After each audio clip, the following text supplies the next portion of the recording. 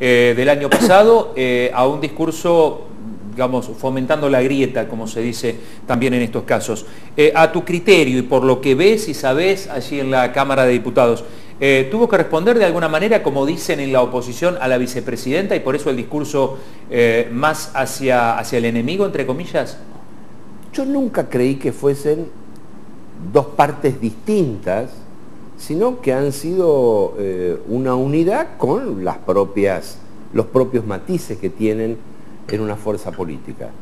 Em, eh, el presidente y la, la vicepresidenta tienen derecho a plantear lo que crean eh, que sea conveniente plantear porque para eso gobiernan.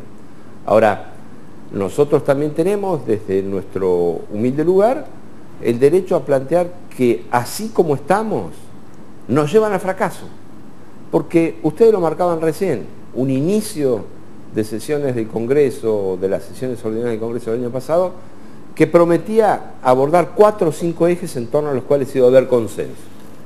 Después del fracaso de este año de gobierno, que no es un fracaso que se pueda atribuir a la pandemia, sino a cómo se sale de ella, y la verdad que el gobierno no acierta a fijar los rumbos de futuro para enfrentar la posmandemia. En el marco de este fracaso creo que el gobierno profundiza la necesidad de la pelea, porque no tiene demasiado éxito para mostrar.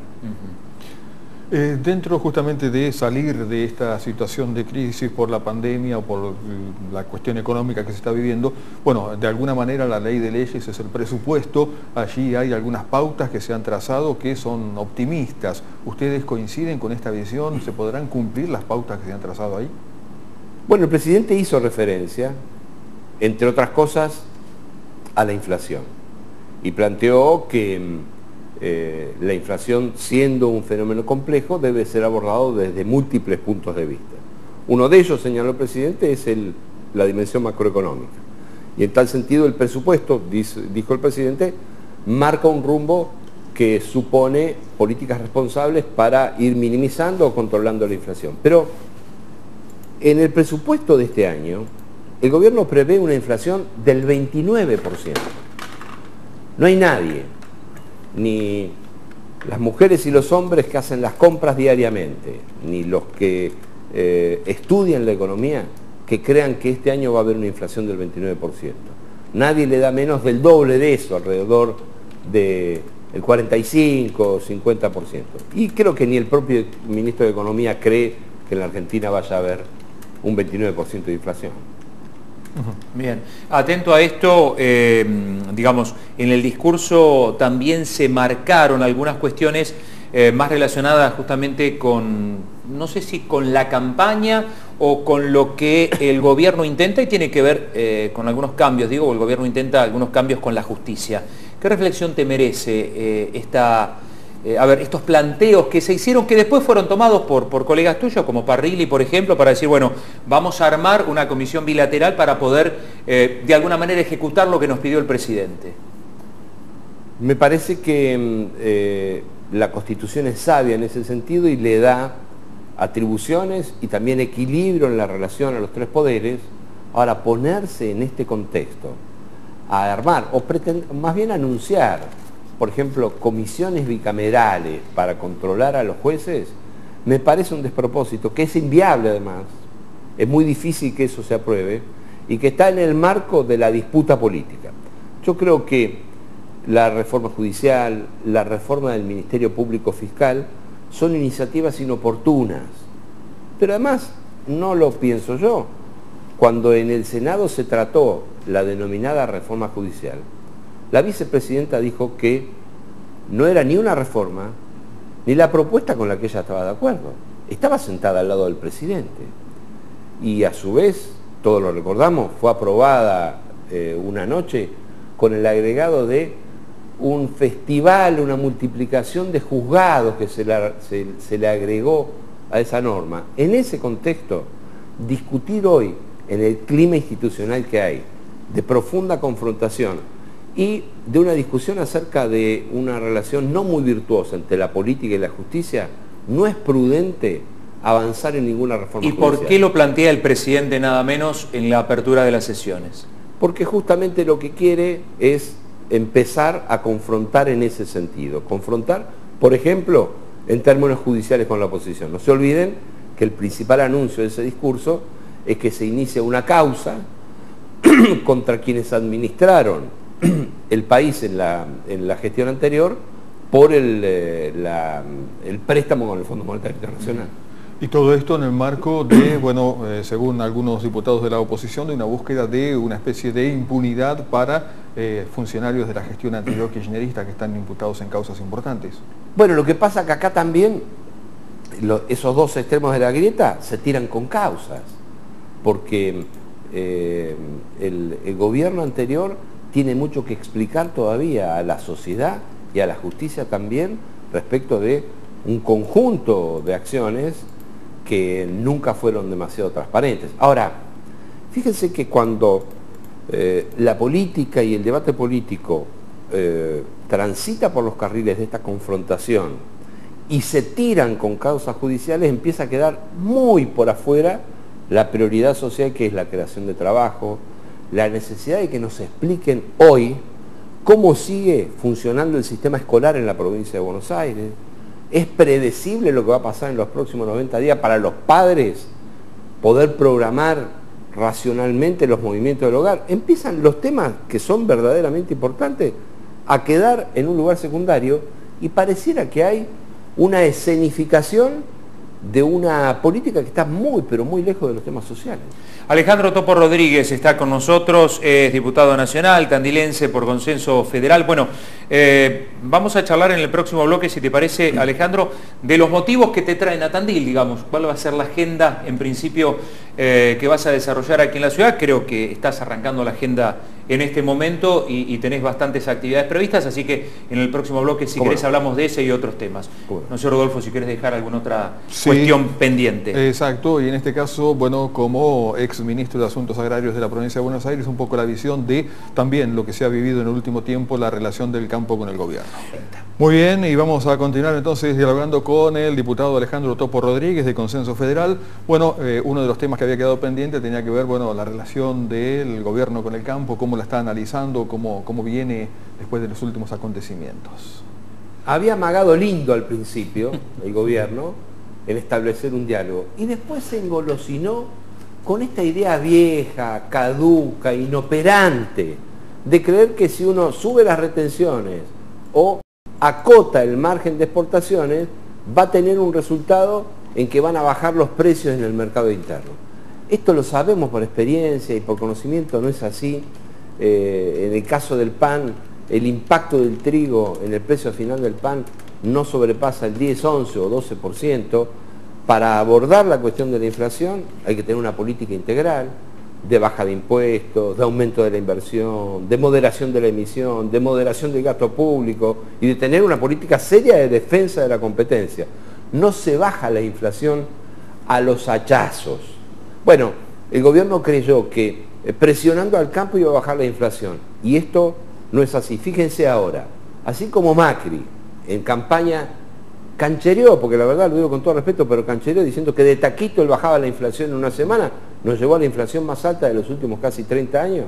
Ahora lo que está de moda es que un funcionario se para frente a la góndola y mira con cara de mal un pan de manteca como pareciendo que está controlando precios. Ni una cosa ni la otra. En ese, en ese contexto, el gobierno ha encuadrado la relación con el campo, la ha encuadrado en el contexto de querer bajar la inflación, cuando en realidad con el campo lo que hay que discutir, porque cuando digo discutir no es pelear, sino intercambiar, es un modelo de crecimiento que le permita a la Argentina aprovechar la enorme potencialidad del campo que no son cuatro o cinco estancieros, son decenas de miles de pequeños y medianos productores que en todo el país cada día deciden invertir para producir. Y Argentina puede seguir compitiendo en el mercado internacional de alimentos cada vez más, porque después de esta pandemia, en un mundo que se ha vuelto mucho más proteccionista, en donde no va a ser proteccionista es en, el consumo de alimentos.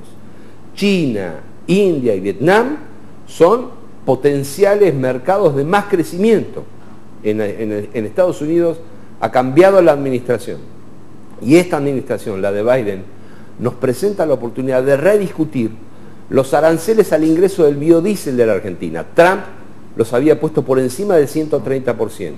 Hoy podemos volver, tenemos una oportunidad de volver a discutir y que el biodiesel argentino, es decir, el combustible hecho con materia de origen vegetal, pueda reingresar por 1.500, 2.000 millones de dólares al mercado norteamericano. Es decir, hay una enorme potencialidad para seguir desarrollando.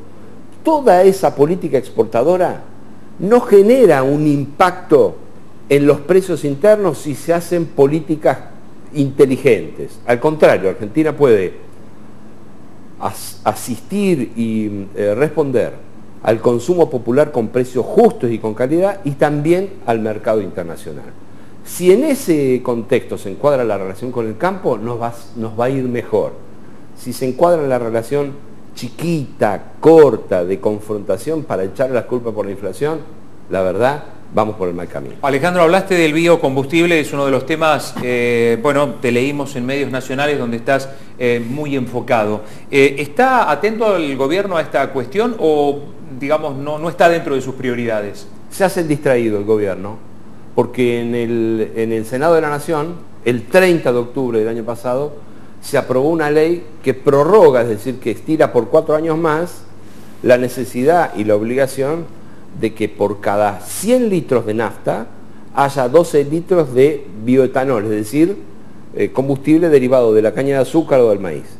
Y cada 100 litros de gasoil haya 10 litros, es decir, el 10% de biodiesel, también de origen vegetal.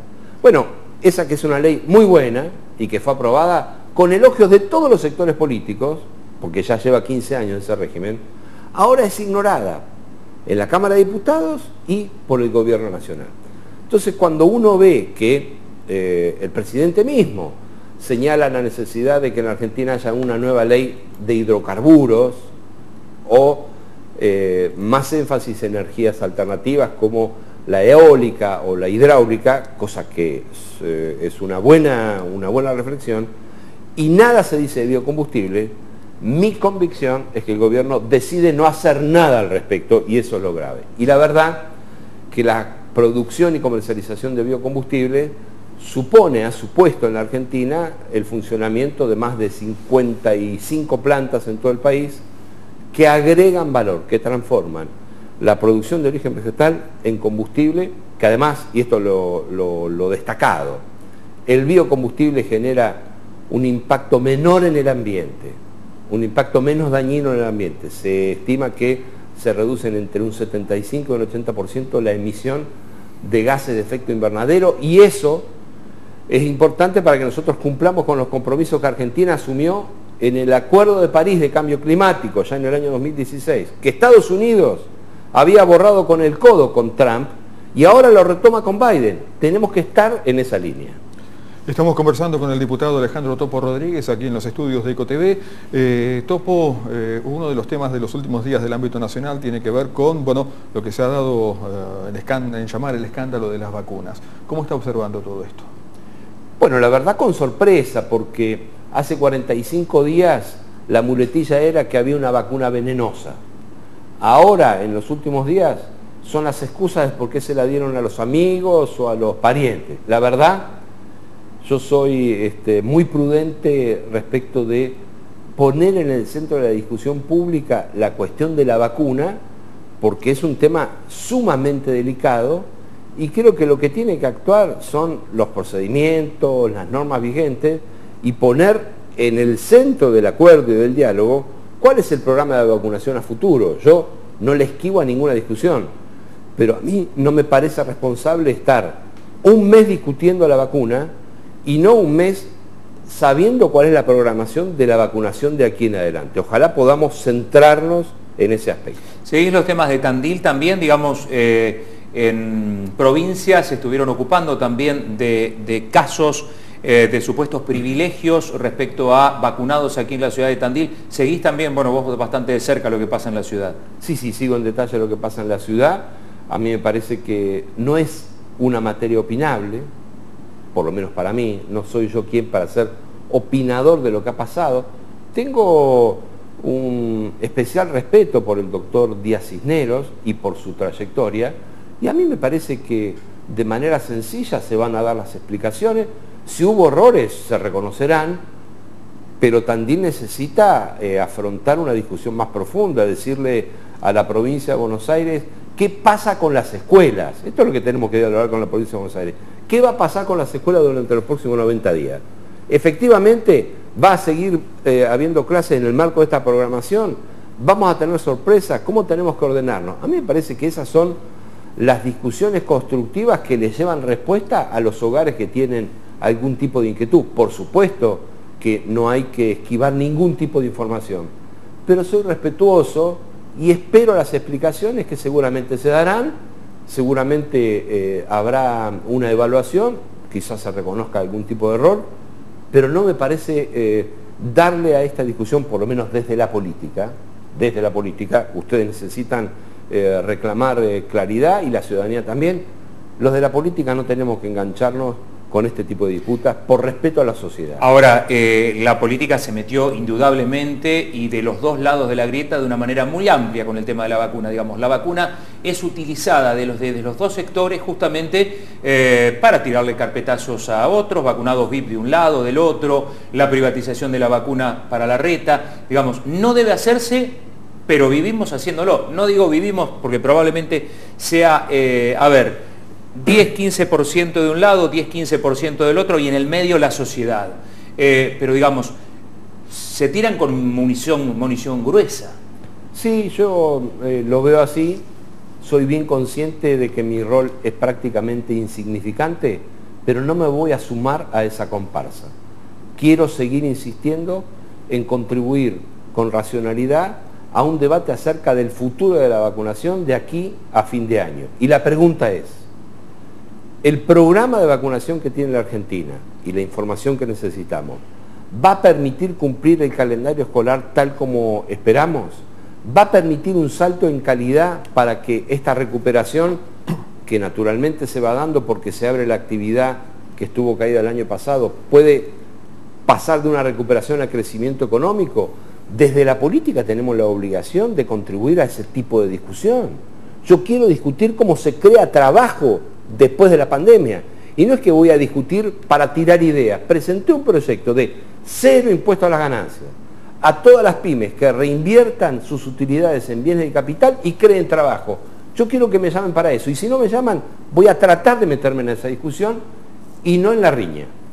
También presentó un proyecto que tiene que ver con el tema de las tarifas de gas, hablando justamente de las cosas sí, efectivamente. Esto es muy importante porque el gobierno se hizo el distraído ya cuando terminó el frío y espero que no se haga el distraído ahora porque necesitamos ya en marzo ir definiendo un sendero que le garantice a los vecinos de Tandil, pero también de todo el sur de la provincia de Buenos Aires, que tengan un subsidio de tarifas que no va a salir de ningún impuesto más, sino que ya sale del fondo que se ha creado con, la propia, con el propio aporte adicional que hacen todos los contribuyentes. Ojalá hay un, proyecto también presentado por el gobierno, similar al que yo he presentado. Como les he dicho en más de una oportunidad, a mí ni me interesa que tomen eh, mi autoría, sino que el tema se lleve adelante y yo estoy dispuesto a apoyar si hay un proyecto similar, pero que salga cuanto antes. Yo voy a pelear por eso en la Cámara de Diputados. Sí. Alejandro, antes de despedirte, bueno, la actividad, la agenda aquí en Tandil va a ser intensa. Hoy de tu parte, como funcionario legislativo, contanos un poco por dónde vas a andar. Bueno, no voy a tener ninguna actividad política, ni de carácter electoral, sino que como eh, solemos hacer eh, cuando no hay elecciones, y ojalá que podamos hacerlo hasta muy entrado el año, vamos a ir a dialogar con sectores productivos, institucionales y sociales. En un rato vamos a estar en el Parque Industrial recorriendo las instalaciones de la eh, fábrica Fundalum. Me interesa mucho saber qué está pasando en materia de producción e industria en Tandil y la zona. Luego tendremos una jornada de trabajo en la Biblioteca Sarmiento, allí en la calle Quintana, en Villa Italia. Ahí Brian Urbán está haciendo una tarea muy importante desde la integración social, cultural y educativa. Quiero aclarar que con ninguna de las personas que voy a dialogar hoy tengo ni pretendo tener ninguna vinculación política ni ellos conmigo. Es mi obligación estar escuchando. Y si recibo críticas y reclamos, mucho mejor. Y después por la tarde vamos a estar eh, dialogando también y trabajando sobre algunos temas pendientes con Federación Agraria Filial Tandil, con productores y productoras de Tandil y, la región. Así que esa va a ser un poco la agenda de hoy. Muy bien. Alejandro, gracias por molestarte hasta aquí, hasta, hasta el Eco Multimedio, bueno, donde, donde has arrancado tu agenda del día. Les agradezco mucho a ustedes y un saludo, un cariño muy especial a toda nuestra querida gente de Tandil. Gracias, Topo. Gracias. Alejandro Topo Rodríguez charlando con nosotros, diputado nacional eh, de Consenso Federal, bueno, tandilense él, charlando un poco de, de todos los temas. Y nosotros vamos a